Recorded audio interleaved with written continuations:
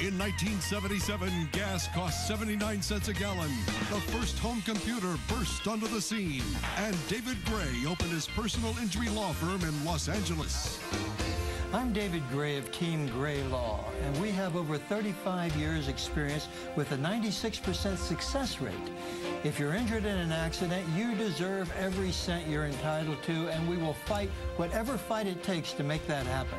The way we've been doing it for years and years.